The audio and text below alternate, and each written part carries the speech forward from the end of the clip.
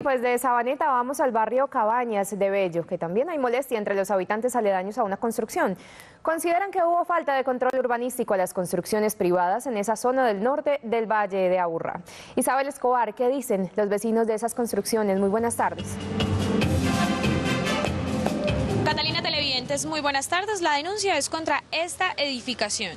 Dicen los vecinos al lado y lado, es una construcción de cinco pisos y que los últimos dos están apoyados sobre sus viviendas al lado y lado y que esta ha sido una situación que ha generado todo tipo de daños en la infraestructura de ambas viviendas.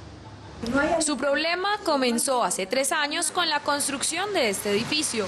La edificación que ustedes ven acá en este caso es una edificación que en este momento tiene cinco niveles y fue construida apoyándose sobre el muro de la edificación en la cual estamos en este momento parados. No se respetó la separación sísmica que establece la norma y la cual estaba en los planos aprobados de la curaduría. Nuestra casa venía hasta acá y tenía un cuarto donde se lavaba, donde lavaba mi mamá la ropa, que ahí lo ven tenía un techo y ellos le desmontaron. Ambos vecinos de esta construcción coinciden en que esa situación perjudica la estabilidad de su predio. Aparte de que hay un sobrepeso, tengo una cantidad de daños que nadie me responde por ellos y con el sobrepeso está tirando hacia allá. Lo que más lamenta es que quien debería sancionar o vigilar en tres años de espera le dé esta respuesta. Control Urbano nos dice que no tiene una persona idónea. En la respuesta que me dieron hoy, después de tres años, para hacer una, una visita técnica. Por tres años de respuestas como esta, interpusieron una acción legal. Buscamos a los dueños de la construcción, quienes prefirieron no dar declaraciones por el proceso legal que está en curso.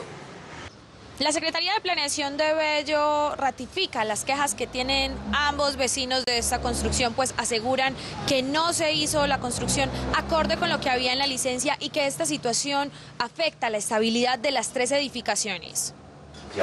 Planeación reconoce que la edificación no cumplió con la licencia de construcción.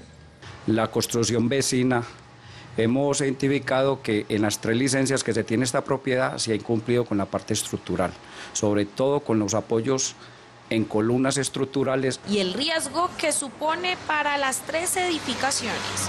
Puede tener problemas de colapso estructurales por un evento sísmico y además está afectando mucho el muro colindante porque el señor, al no tener elementos de apoyo de columnas, está apoyando en este muro medianero es la Secretaría de Gobierno de Bello la que debe emitir las sanciones económicas u orden de demolición a las que haya lugar según el concepto de planeación.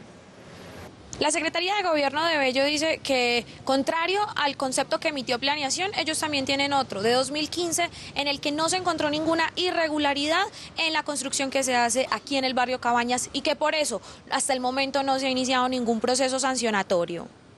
La Secretaría de Gobierno considera que todo se ha hecho acorde con la ley. Al momento de la visita, este señor eh, de la construcción presenta la respectiva licencia de construcción y en el expediente reposa un concepto técnico emitido por el profesional idóneo, un ingeniero, donde nos certifica que realmente no existe infracción urbanística alguna. Y que por eso no hay sanciones contra esa construcción. La competencia en la inspección de control urbano radica en verificar la legalidad o la ilegalidad de la construcción.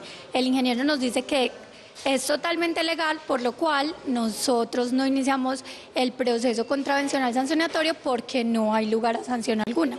Conceptos contradictorios entre ambas dependencias pedirán la inspección a un agente externo que determine si hay lugar o no a sanciones.